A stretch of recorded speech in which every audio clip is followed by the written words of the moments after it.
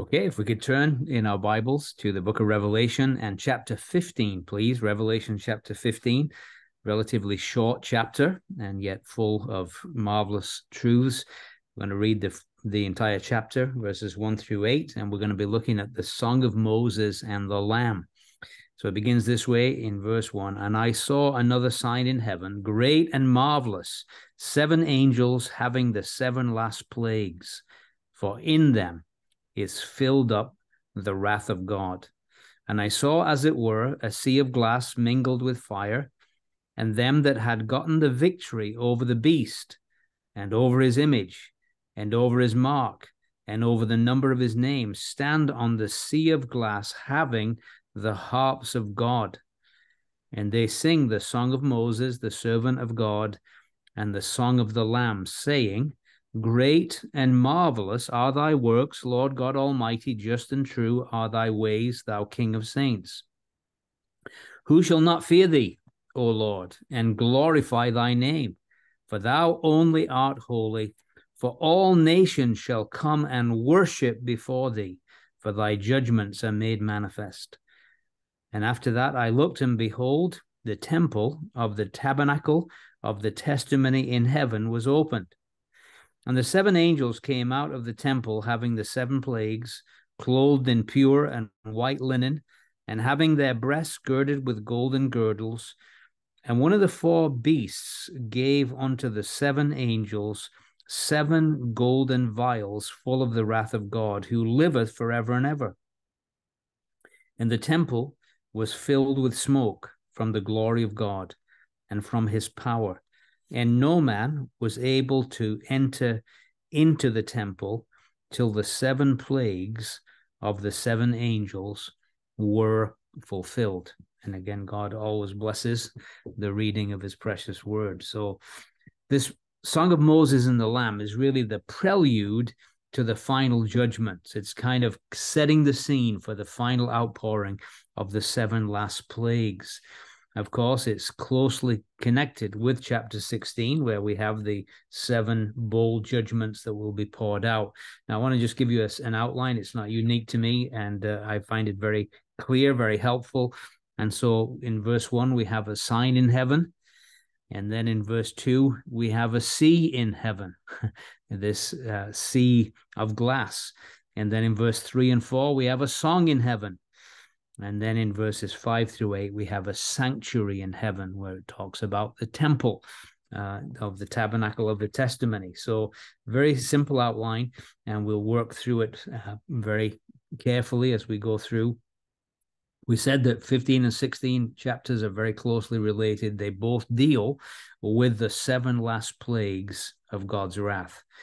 This chapter is what we would say preparatory and interpretive is telling us the reasons behind what's about to happen. And then the other is interpretive, is going to actually interpret what these seven last plagues are about. And what we're going to find is this prelude, it's just telling us simply this that the wicked world is about to drink of the wine of the wrath of God, which was seen and referred to in chapter 14 uh, in we cited in verse 10, it says, The same shall drink of the wine, the wine of the wrath of God, which is poured out without mixture unto the cup of his indignation, and he shall uh, and he shall be tormented with fire and brimstone in the presence of the holy angels and in the presence of the Lamb.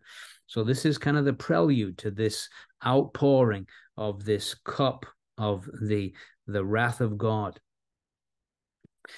Also, just good to remind ourselves that this is the third in this and the final series of judgments, the prelude to this third and final series of judgments upon the earth prior to the personal return of the Lord Jesus Christ to the earth. And so, up to now, we've seen these three series of judgments. We've been walking through them, and, and we've seen how interconnected they are when we had the seven seals, out of the seventh seal came the seven trumpets. And then uh, now we've the last trumpet is about to be sounded, and out of that will come the seven bowls. Yeah, and so this is, as we say, the prelude to, to this pouring out of the seven bowl judgments. I want us to notice too the connection between chapter 11. And it's good to just go back there for a moment and we'll see verses 15 through 19. We've kind of had uh, what we kind of an interlude. Uh, we've we've had this kind of parenth- parenthetical section in 12, 13, and 14. And now we're about to kind of resume the action. And so it's good to kind of go back and see where we left off uh, before this kind of interlude. And so as we go back to chapter 11 and verse 15, notice this. It says, The seventh angel sounded, and there were great voices in heaven saying, The kingdoms of this world have become the kingdoms of our Lord and of his Christ. He shall reign forever and ever. The four and twenty elders which sat before God in their seats fell on their faces, worshipped God, saying, We give thee thanks, O Lord God Almighty, which art and wast and art to come, because thou hast taken to thee thy great power and hast reigned. And the nations were angry, and thy wrath is come and the time of the dead that they should be judged, and that they should give reward to thy servants, the prophets, and to the saints, and to them that fear thy name, small and great, and shouldest destroy them which destroy the earth. And now notice particularly verse 19, and the temple of God was opened in heaven, and there was seen in the temple the ark of his testament, and there were lightnings and voices and thunderings and earthquakes and great hail. The blowing of the seventh trumpet there's kind of this anticipation now. Christ is about to come and reign, having poured out these last judgments, about to come and reign, and the temple of God was opened. And that's the connection that we're going to see when we get to our chapter, uh, this passage, chapter 15, about the, the temple being opened. You see, because again, uh, we notice in verse 5, linking chapter 11 to chapter 15, and after that I looked, and behold, the temple of the tabernacle of the testimony in heaven was opened. So it's kind of picking up the scene, as it were, and showing the connection.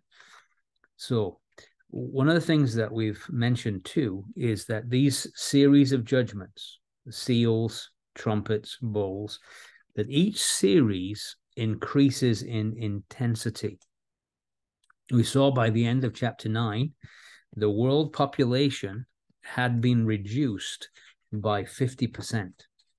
And now, this final series of judgments are going to be the most severe and most intense, intense because in them is going to be the fierceness of the wrath of God filled up.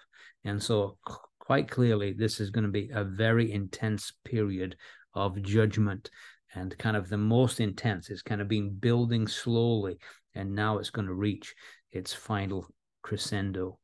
So we begin with this sign in heaven. He says, I saw another sign in heaven, great and marvelous, seven angels having the seven last plagues, for in them is filled up the wrath of God. So this final sign relates to the preceding signs, right? That we've seen signs before. We saw one in chapter 12. In fact, we saw two signs in chapter 12 there appeared, verse 1, a great wonder, or same word, sign in heaven, a woman clothed with the sun, the moon under her feet, upon her head a crown of 12 stars. Picture of the nation of Israel. That was the first sign, the nation of Israel. Second sign was the red dragon, verse 3, and there appeared another wonder in heaven. That's again that word sign, uh, same word. Another wonder in heaven, behold, a great red dragon having seven heads, ten horns, seven crowns upon his heads. So we got this idea of two signs so far. We got Israel and we got Satan. And of course, there's this war, isn't there? Satan wanting to destroy Israel, discredit Israel, uh, somehow eliminate Israel. Part of it's always been his goal, part of it because they are their existence is proof of the existence of God. We said that the very el on the end is exist is proof of the existence of Elohim. And now we have this this next sign, the third sign, which is great, he says, and marvelous, and it's these seven angels w- with the seven last plagues. And again, it's going to, in a sense, uh, do a great work, uh, both in in destroying and disrupting Satan's purposes, and also in Israel's purposes. going to be a purification of them. It's remember, it's the day of Jacob's trouble. It's kind of yeah, two thirds of them are going to be destroyed. A third of them are going to be saved. It's part part of it is connected with Israel as well. And so these seven angels, they should not be confused with the two groups of three angels we saw in the previous chapter. Uh, they're completely different, um, uh, uh or different to any previous groups of angels. They're, these seven angels Uh, are the ones that are being given the responsibility, as it were, of pouring out these seven last bowls. So, what's the idea of this idea of seven last plagues? Just interesting when you go back to the book of Leviticus, and we'll just take a minute to do that. Just look at one verse in Leviticus chapter 26 and verse 21. Leviticus 26, verse 21. Read this scripture. It says, And if you walk contrary unto me, and will not hearken unto me, I will bring seven times more plagues upon you according to your sins. And so, in a very real sense, these seven last plagues are God's judgment on a disobedient and contrary world. Uh, God is about to, as it were, deal with a world that has been contrary and disobedient and rebellious towards Him. And it's kind of reached its peak now. And God is about to pour out these seven last plagues. Of course, the word plague in scripture is used to describe direct divine action on sin or sinners. And it's already been used uh, in twice in the book of Revelation to describe the previous judgments. If we look back at chapter 9 and verse 20, chapter 9, verse 20, where we read, And the rest of the men were not killed by these plagues, yet repented not of the works of their hands, that they should not worship devils and idols of gold and silver and brass and stone and of wood, which neither can see, nor hear, nor walk. So it's used in chapter 9, verse 20 of the judgments that what we call the trumpet judgments.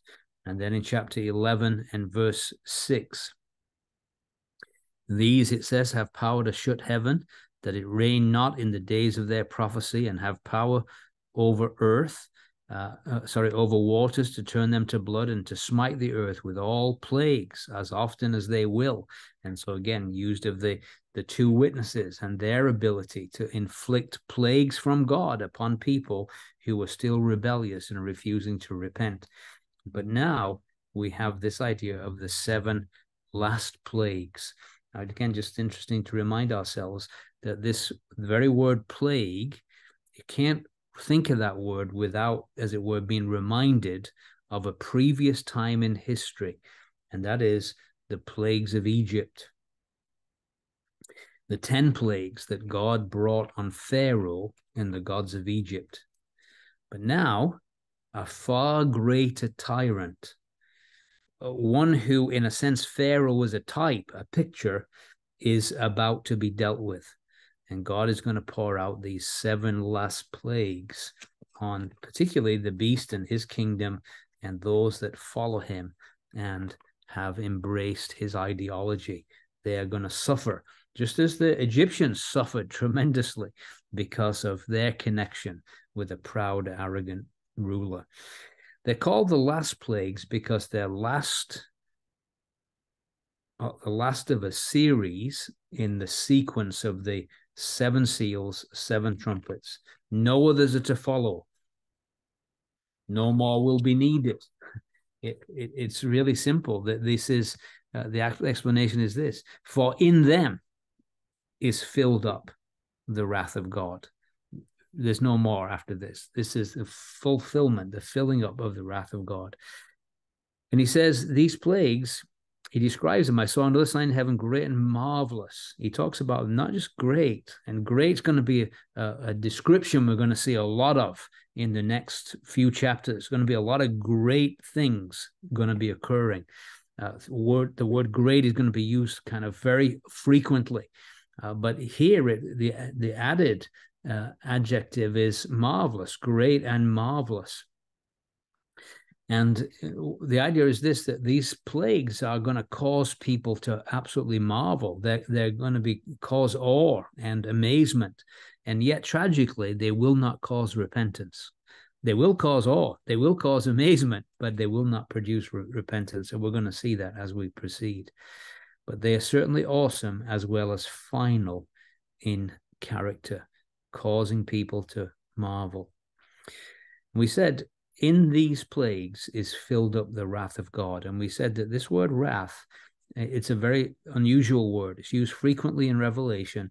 And it's not the usual word, which is we've said God's settled hatred against sin. But this is much more volatile, more passionate. This is this is a very passionate anger here uh, that is being described. Uh, and so it's where God's anger flashes hot. I think that's the best way of describing it. And we said that uh, of its use of God in the New Testament, of the of the 11 times that it's used in the New Testament, 10 of them are here in the book of Revelation. And so this is this is the time frame when God's anger flashes very hot. Now, you're all probably wondering, well, where else is it used in the New Testament in connection with God's uh, fiery, hot wrath? It's used in Romans 2. In Romans chapter 2, where uh, we read this very simple statement, Romans 2 and verse 8. It says, But unto them that are contentious and do not obey the truth, but obey unrighteousness, indignation, and that's the that's the word there, fiery wrath, uh, indignation and wrath. That's the other word, settled hatred. God's settled continuous hatred against sin, and so this fiery wrath. So it's used of God there, but the rest of the re- re- references uh, to this hot, volatile, passionate anger are all found in the book of Revelation. And um, we, we we we could take the time. I guess we it won't take us, it won't harm. Uh, but just to to mention them, uh, chapter fourteen, verse eight is where it begins, where we read, "There followed another angel saying, Babylon is fallen, is fallen that great city, because they made all nations drink of the wine of the wrath of her fornication." And so again, it's kind of used in connection with Babylon there. But 10, it says, The same shall drink of the wine of the wrath of God. There's God's fiery response. Uh, verse 19, and the angel thrust in his sickle unto the earth and gathered the vine of the earth and cast it unto the great winepress of the wrath of God, the, the hot, fiery anger of God. Here in 15.1, filled up the wrath of God. 15.7, one of the four beasts gave unto the seven angels seven golden vials full of the wrath of God, who lives forever and ever. Uh, chapter 16 and verse 1. It says, I heard a great voice out of the temple saying to the seven angels, Go your way and pour out the vials or the bowls of the wrath of God, the fiery wrath of God upon the earth. Chapter 19. Sorry, 16, 19. 16, verse 19. And the great city was divided into three parts, and the cities of the nation fell. And great Babylon came in remembrance before God to give unto her the cup of the wine of the fierceness of his hot, fiery wrath. And then, chapter 18 and verse 3 all nations have drunk of the wine of the wrath of her fornication, the kings of the earth, and so on and so forth. Again, speaking of Babylon here, 1915, where we read, And out of his mouth goes a sharp sword, and with it he should smite the nations, and he shall rule them with a rod of iron. He treadeth the winepress of the fierceness and wrath of Almighty God. So you can see that uh, when we get to the book of Revelation, man's rebellion as it were, reaches its pinnacle. And as a result of man's rebellion reaching its pinnacle, God's fiery wrath begins to blaze against the human race. His anger flashes hot against the human race. And so, the book of Revelation, a book that reveals the judgment of God upon a Jesus Christ rejecting world. And it says that it's filled up, it's complete. That's the idea. Uh, it's reached an end or an aim. Uh, his hot wrath is fulfilling an eternal purpose. God is not just blowing off steam, but there's a purpose in this, and he's about to fulfill it. Filled up, uh, translated by the revised version of finished. Uh, Darby says is completed. Implies not merely a cessation, but has the idea of a conclusion arrived at, a goal reached. It implies God's purpose of the judgment has been accomplished. Tragically, these seven last plagues do not result, even though they're completed, they do not result in repentance. In fact, the result is given to us in verse 21 of chapter 16. There fell upon men great hail out of heaven, every stone about the weight of a talent, and men blasphemed God because of the plague of the hail, for the plague thereof was exceeding great. And so, isn't it tragic that this this wrath of God, this final consuming wrath of God poured out, does not produce repentance at all, but it actually causes them to blaspheme, like the beast who has been blaspheming God. These followers of the beast follow his example. And as a result of these plagues, they also blaspheme uh, the very God of heaven, the one who is pouring out these judgments upon them. Of course, the culmination of the judgment, as we saw earlier, is Revelation 19, where the final stage at the winepress of the wrath of God will be executed by the Lord Jesus coming from heaven after the seven last plagues. He comes and puts down all rebellion finally. And so the final stage of the wrath of God will be executed, as we saw in Revelation 14, verse 19 by the Lord Jesus himself when he comes to gather out the chaff, as it were. So we've seen the sign in heaven. Now we see the sea in heaven. Verse 2 I saw as it were a sea of glass mingled with fire. Them that gotten the victory over the beast, over his image, over his mark, over the number of his name, stand on the sea of glass, having the harps of God. Again, we've said that um, the the architecture of heaven it's it the tabernacle and the temple on earth were modeled on the heavenly sanctuary and so part of the tabernacle on earth there is what we call the the, the brazen sea or the uh, the the um, uh, the laver uh, remember the priest when he came in he had to wash his hands and his feet uh, at the laver. So this is uh, another aspect of tabernacle furniture found in heaven. Uh, the sea of glass, a physical representation uh, of what we call the laver. And of course, the laver often represents the idea, at least in spiritual application, as the word of God, right? The cleansing effect of the word of God. How shall a young man cleanse his way by taking heed according to thy word. And so the idea of cleansing uh, is through through the word of God. The uh, husbands love your wives, and how do you part of you doing that is using the washing of the water of the word, just as Christ does that with us, using God's word, its cleansing effect. And so some have suggested that the picture here is this: that these that are standing on the sea of glass. The reason they're standing on the sea of glass is because that when they were on earth before their martyrdom, they were standing on the word of God. they stood firm on God's word, and now they're standing on the sea of glass. How important it is, by the way, and especially in a time of tremendous deception. Remember, uh, these are tribulation martyrs.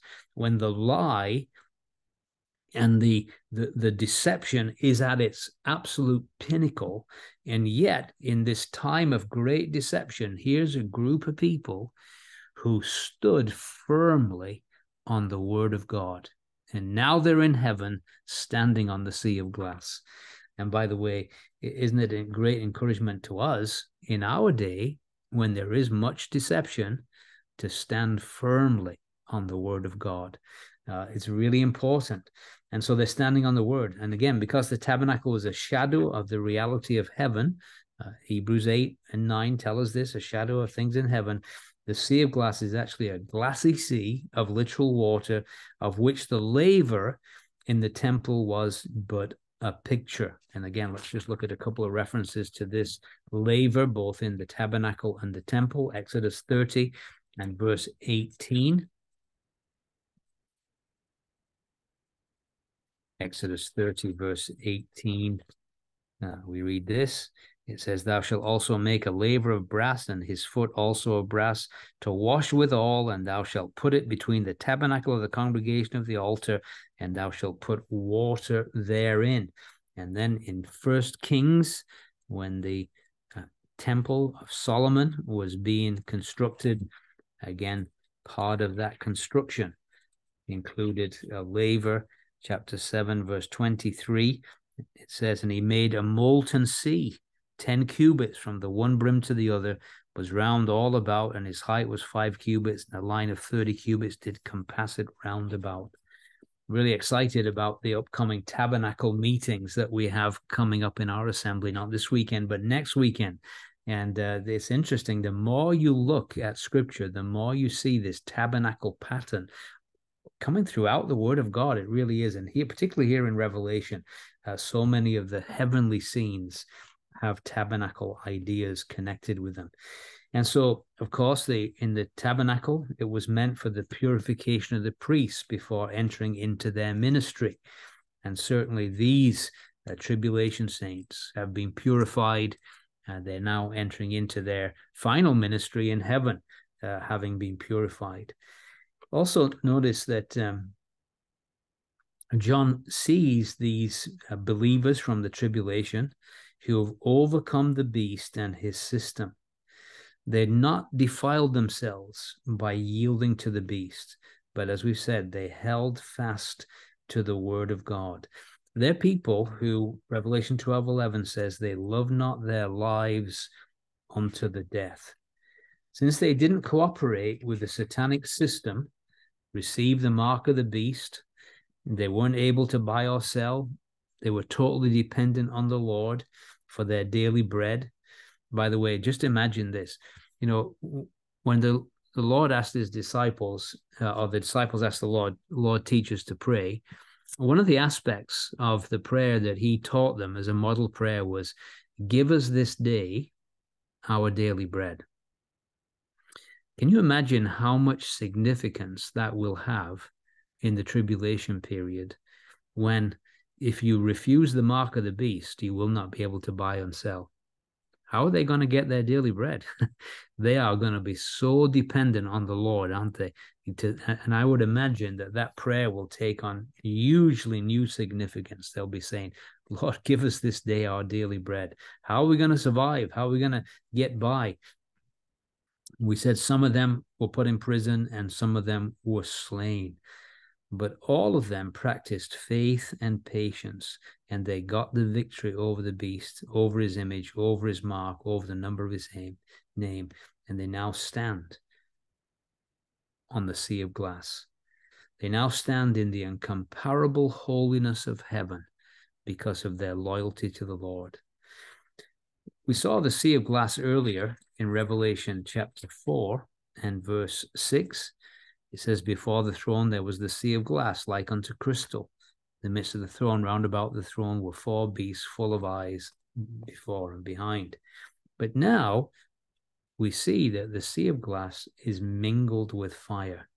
Of course, it reminds us, doesn't it, that our God is a consuming fire. Hebrews 12 29.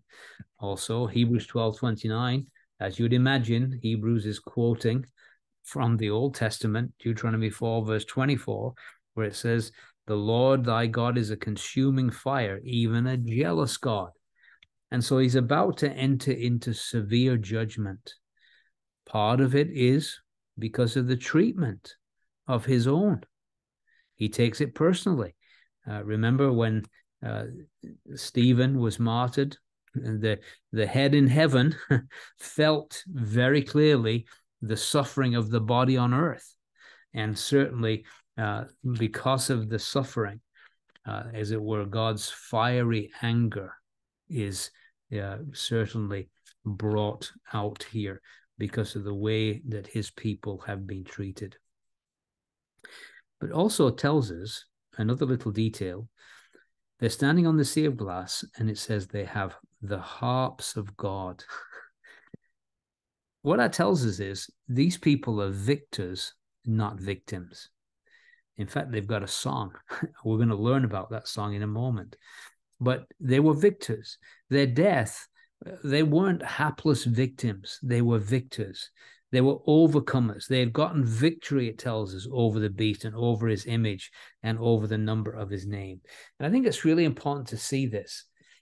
It's interesting, too, isn't it, that the greatest victories always occur, it seems, through death. For instance, Samson's greatest victory was attained by his death. A far greater victory was accomplished through the death of the Lord Jesus Christ. That death accomplished such marvelous, marvelous things, didn't it? And even for the believer, the believer enters into real victory when he dies to self and recognizes himself to be crucified with Christ. It's only then that we enjoy victory, isn't it? And, and so you can see that, in a sense, death is a victorious thing.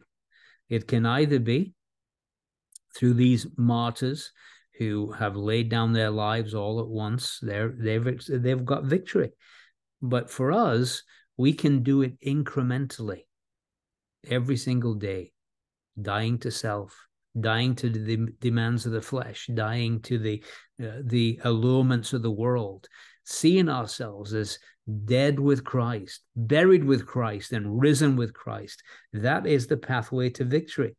And of course, it says they have the harps of God, indicating God has given them the ability to praise Him, despite all that they've gone through, despite the hardships, despite the the terrible uh, conditions that they've found themselves in, living in this last period of, in a sense, prior to the coming of Christ, and yet uh, they've got the harps of God, and so they have a song.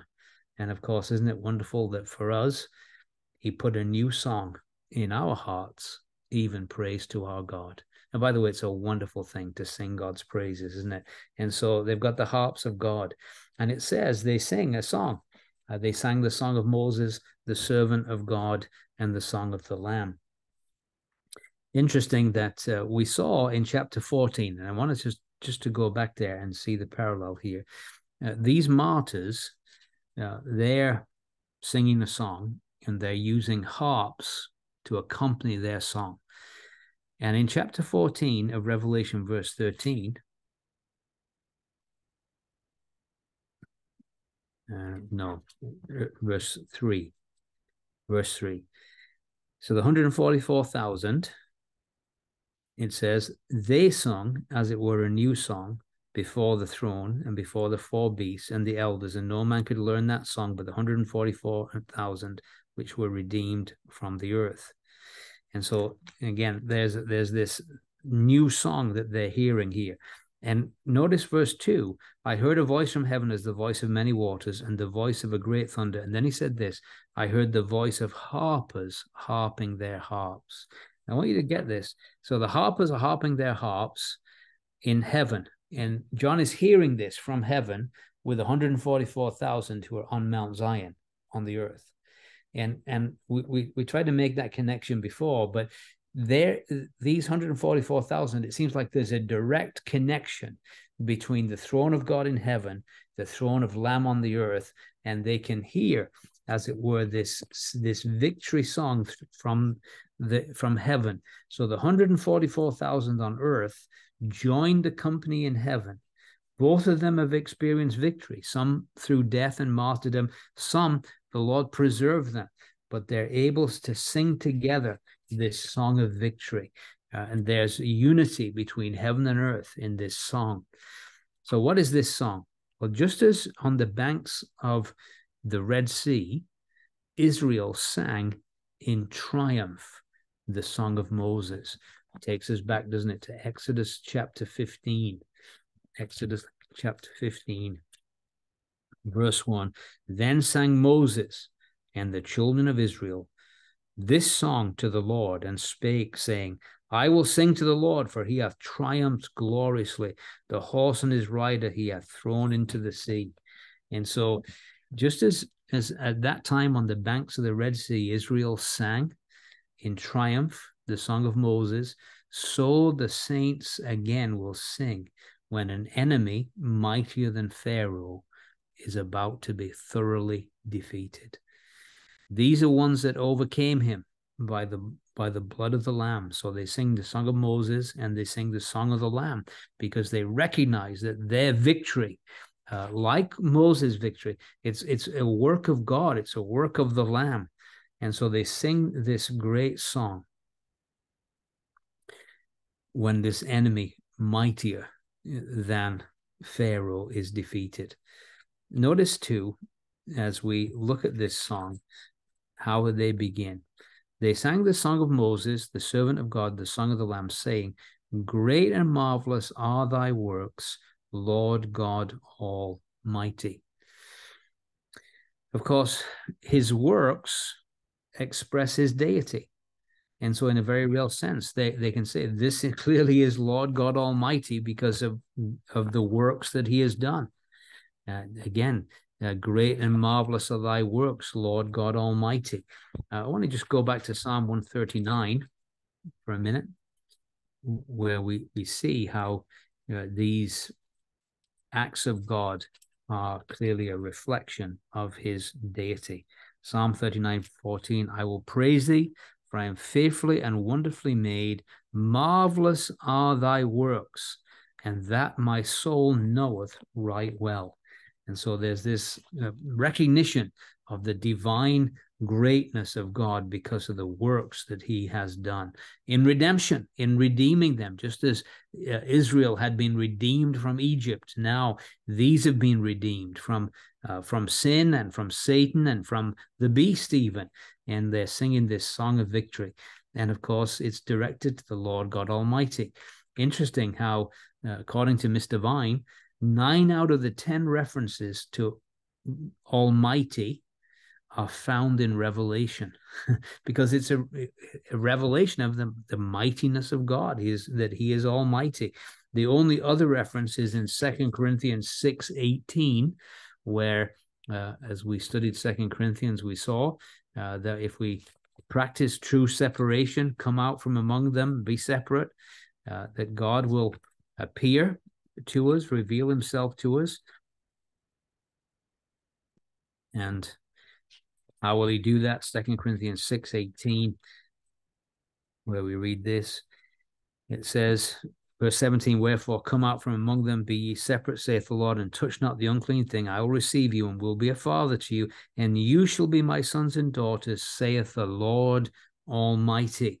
So that's the only other time in the New Testament this idea of the Lord Almighty is used. The rest of them are all in Revelation. Nine out of the 10 references. Uh, so we're getting a, a now one time, uh, we'll just see this in chapter 19. It's not just mentioned as Almighty, it's but it's the word omnipotent, but it's the same word in the Greek. Psalm, uh, sorry, uh, Revelation 19, verse 15 and 16, where it says, And out of his mouth goeth a sharp sword, and with it he should smite the nations, and he shall rule them. With a rod of iron he treadeth the winepress of the fierceness and wrath of Almighty God. Yeah, so it's Almighty there. So it must be a different reference. 21, verse 22, maybe is the one I'm thinking of, where it uses the word omnipotent. No, it's Almighty there too. It's the one that says the Lord God omnipotent reigneth which I cannot put my finger on right now. So going back to our song, Revelation 15. The Lord God Almighty, and then it says, Just and true are thy ways. Again, a reference back to Deuteronomy 32, verse 4, that God's dealings, even in judgment, are just and true. Uh, in other words, the world deserves this. It, justice is being meted out. Uh, and God is clearly acting according to the attribute of divine justice. Deuteronomy 32, verse 4. Again, he is the rock. His work is perfect. All his ways are judgment, a God of truth and without iniquity. Just and right is he. And so, again, they're emphasizing the fact that just and true are thy ways. So, we're talking about God's works, now God's ways, just and true. It says, Thou King of Saints. Now, it's interesting that it says King of Saints. We don't, we tend not to think of King of Saints. We tend to think of him as Lord of Saints, don't we? Rather than King of Saints. But actually, again, it's a direct quotation from the Old Testament, and it's from Jeremiah chapter 10 and verse 17. Jeremiah 10, sorry, verses 6 and 7, where it says, For as much as there is none like unto thee, O Lord, thou art great, and thy name is great in might. Who would not fear thee, O King of nations? For to thee doth it appertain, for as much as among all the wise men of the nations and in all their kingdoms there is none like unto thee. So, really, it's used there, quotation from Jeremiah 10 7, uh, 6 and 7, where it's rendered King of nations. And of course, he's going to be seen not just as King of saints, but as King of nations as well when he comes and reigns. Then he says this Who shall not fear thee, O Lord, and glorify thy name? For thou only art holy, for all nations shall come and worship before thee, for thy judgments are made manifest. So again, this song we've seen, it's deeply rooted in the Old Testament. It gives praise to God for his works, great and mar- marvelous are your works, his ways, just and true are your ways, his worthiness, who shall not fear you, O Lord, and glorify your name? For you alone are holy. And of course, an essential uniqueness that belongs to deity is that he alone is inherently holy. Uh, we can be made holy, we can become holy, but he, by very nature of his existence, uh, uniquely is holy. And so, and then as well as God's worthiness, we have in this song God's worship. All nations shall come and worship before thee. Of course, this is going to be fulfilled when Christ comes to reign. And uh, I just want to look at some of the, the abundant references to the idea of the fact that when the Lord comes to reign, that all nations will come before him and worship him. This, this idea of praise to God and universal worship is in keeping with many other scriptures and of course relates to the second coming of Christ and the worship of God by the entire world in the millennial kingdom. And so I want to just just kind of run through some of these references. I find them very fascinating. And again, these kind of things makes you uh, can uh, certainly for me makes me very convinced that there has to be a future millennial period for these things to find their full fulfillment. Because uh, right now all nations are definitely not worshiping him. There may be some from every tribe and tongue and people and nations but most nations are in full rebellion against him. Psalm 2 verse 8 and 9 Ask of me, and I will give thee the heathen for thine inheritance, the uttermost parts of the earth for thy possession. Thou shalt break them with a rod of iron, thou shalt dash them in pieces like a potter's vessel. Psalm 66, verses 1 through 4. Just some beautiful scriptures that speak of this coming day where universal worship will be brought to the Lord. Make a joyful noise unto God, all ye lands. Sing forth the honor of his name. Make his praise glorious. Say unto God, How terrible are thou in thy works. Through the greatness of thy power shall thine enemies submit themselves unto thee. All the earth shall worship thee and shall sing unto thee. They shall sing unto thy name. Selah. Think about this. Psalm 72. verses 8 through 11. Psalm 72, verse 8 He shall have dominion also from sea to sea and from the river to the ends of the earth. They that dwell in the wilderness shall bow before him. His enemies shall lick the dust. The kings of Tarshish and of the isle shall bring presents. The kings of Sheba and Seba shall offer gifts. Yea, all kings shall fall down before him. All nations shall serve him. So again, just uh, marvelous references. Psalm 86 and verse 9. It says, All nations whom thou hast made shall come and worship before thee, O Lord, and shall glorify thy name. Book of Isaiah. And again, I, I, hope you see the importance of doing something like this, this exercise of going through and just seeing that this has never happened in human history, but it's about to be fulfilled at the second advent of the Lord Jesus when he indeed reigns in splendor over the earth. It shall come to pass in the last days that the mountain of the Lord's house shall be established on the top of the mountains, and shall be exalted above the hills, and all nations shall flow unto it.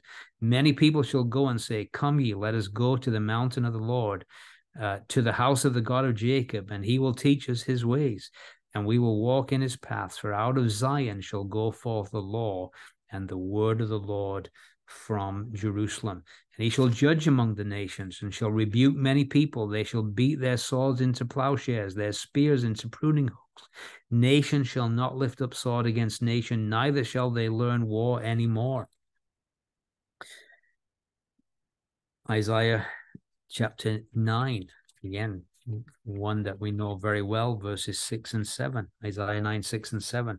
It says, for unto us a child is born, unto us a son is given. The government shall be on his shoulders. His name will be called Wonderful Counselor, the Mighty God, the Everlasting Father, the Prince of Peace.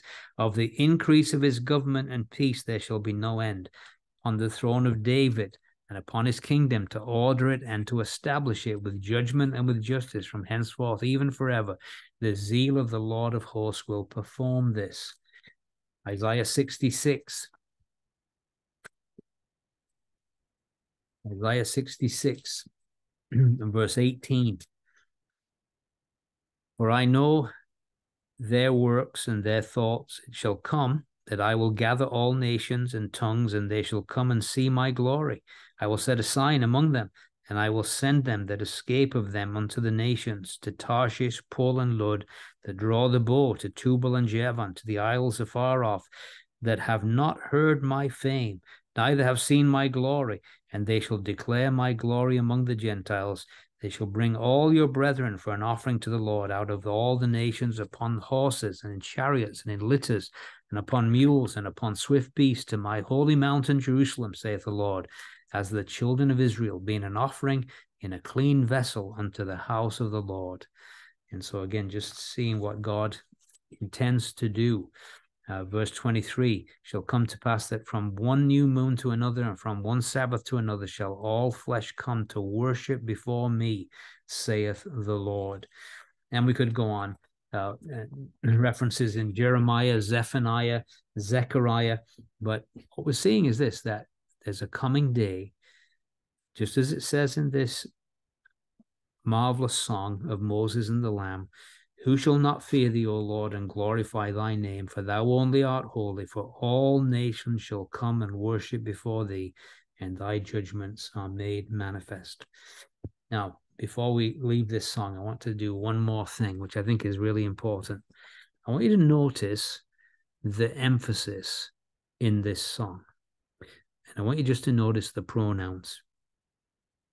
So it says, They sing the song of Moses, the servant of God, the song of the Lamb saying, Great and marvelous are thy works, Lord God Almighty, just and true are thy ways, thou King of saints.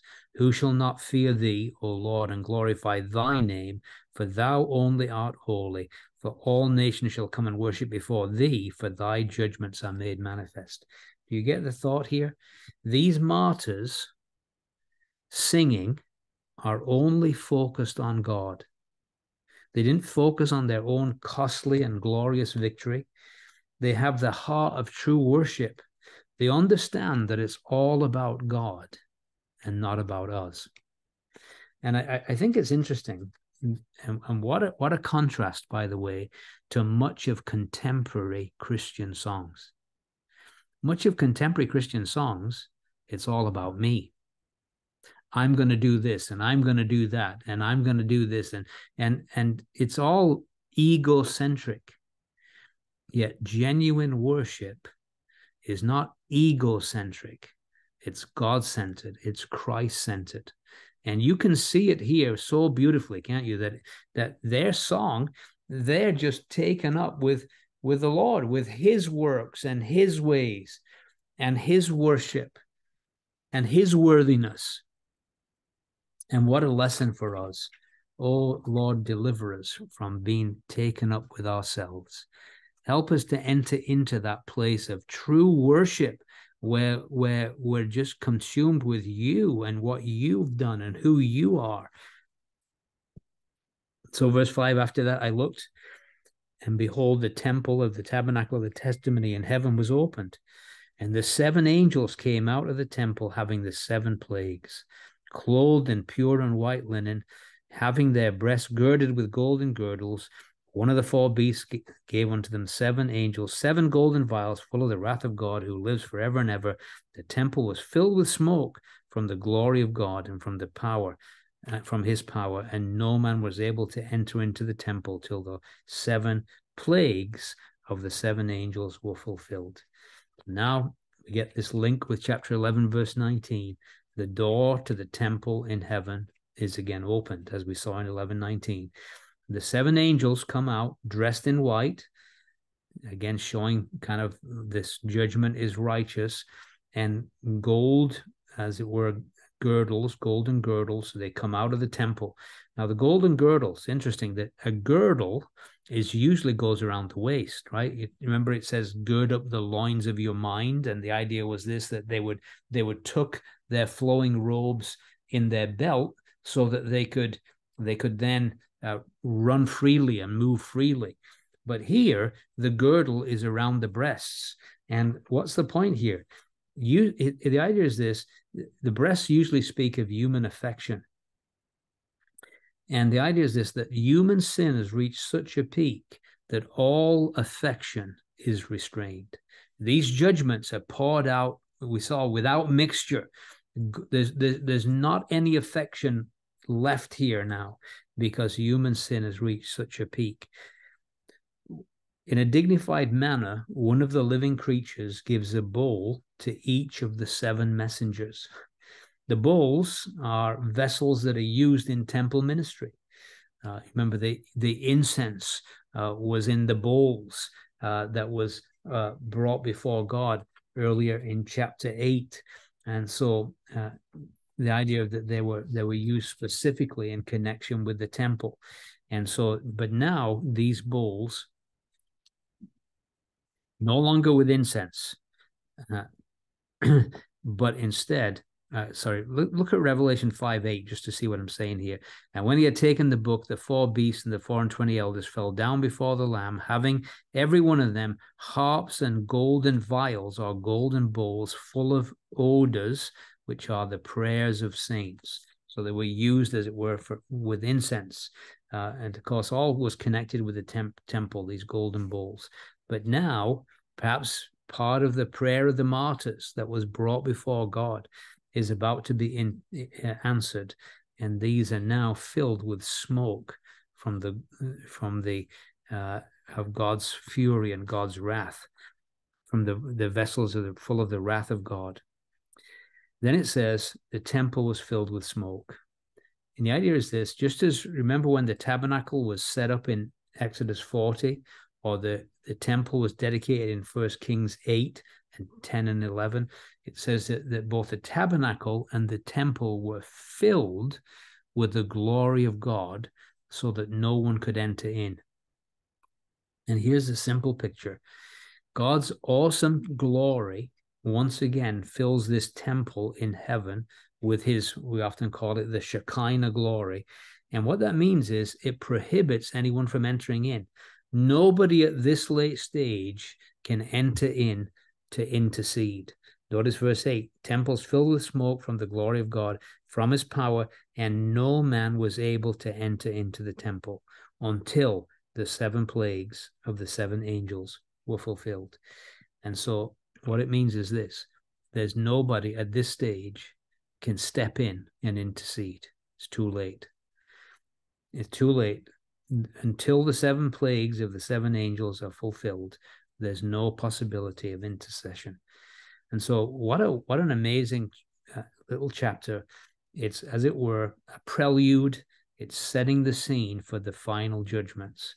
And what it's telling us is, it's too late now. There's no possibility of intercession, no possibility of stopping. Judgment is about to fall. These seven last plagues, but we'll have to wait, Lord willing, till next week until we witness the seven last plagues poured out on the earth. In the meantime, I hope that we're filled with song, and our song is Christ centered and God centered rather than self centered to his glory. Amen.